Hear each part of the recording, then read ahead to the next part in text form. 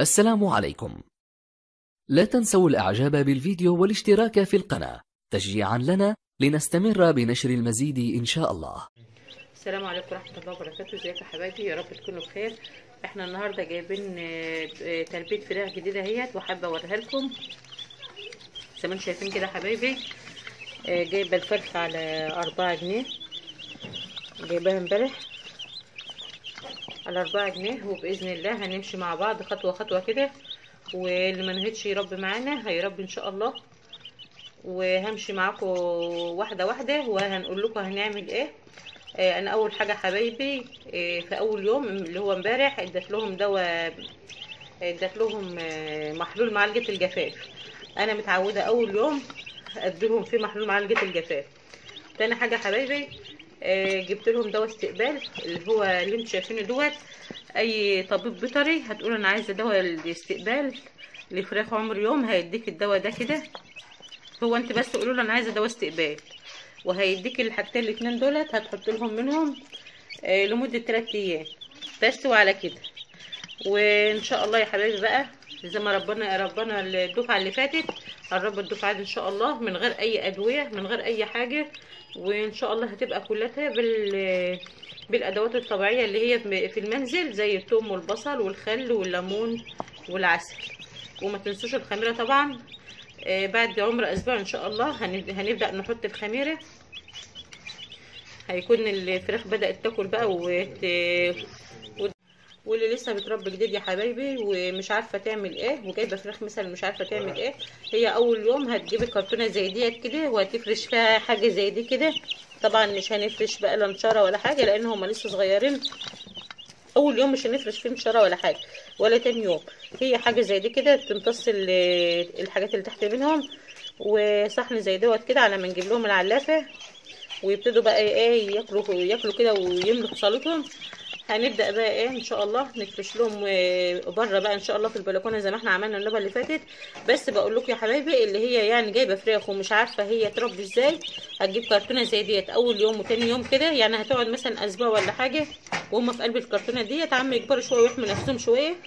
آه، ولندا يعني نواسة زي ديت ما هياش آه، لندا ولا حاجة. هي نواسة صغيرة زي دي مش لندا كبيرة عشان ما تصهدهمش قوي. والكرتونة يا حبايبي زي ما أنتم شايفين كده. هتحطوهم بقى زي ما انت عايزة. مثلا لو عندك كرتونة أوسع شوية هتسيبوهم فيها لمدة أسبوع ولا حاجة.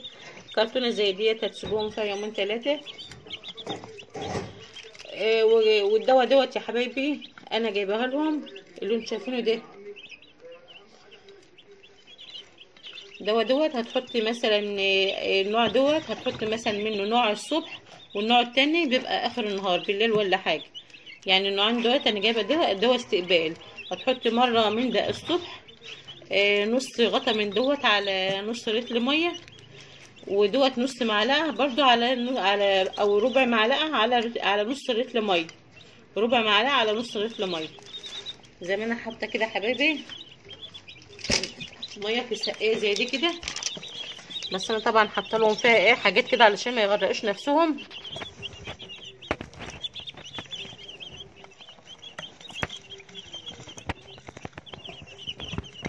زي ما أنتم شايفين كده يعني هي دلوقتي الميه ديت أنا حاطه لهم فيها دواء والدواء دوت باذن الله هحط لهم منه لمده 3 أيام على ما يبداوا إيه يعني يمشوا معايا كده واحدة واحدة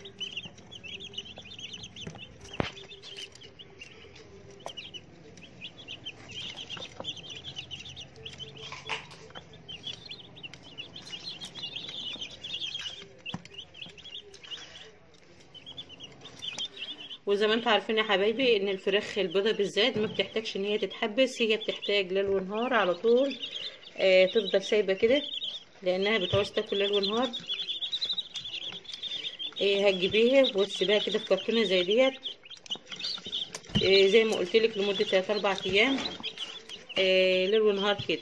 بتغطي عليها. أهم حاجة يا حبايبي طبعا التدفئة دي التدفئة ديت أهم حاجة. آه، طبعا زي ما أنا قلت لكم قبل كده في الفيديو اللي فات إن ال- الفراخ الصغيرة بالذات بتبقى عايزة رعاية آه، زي الطفل الصغير بالظبط.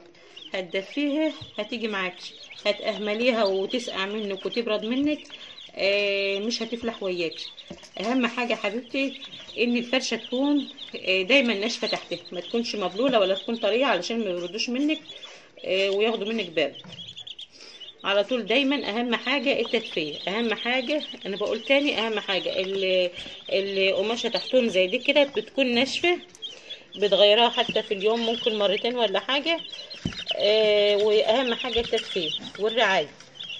ودايما أهم حاجة ما تسيبيش ان الفراخ بتاعتك من غير مية. أهم حاجة المية بتبقى جرهم آه، ودي يا حبايبي كانت حلقتنا النهارده عن الفراخ عمر يوم. ويا رب يكون الفيديو عجبكم. آه، وإن شاء الله آه، كمان عمر أسبوع هقول لكم أنا هعمل إيه وأصور معاكم فيديو تاني. آه، وده كان الفيديو بتاعنا يا حبايبي. يا رب يكون عجبكم. والسلام عليكم ورحمة الله وبركاته.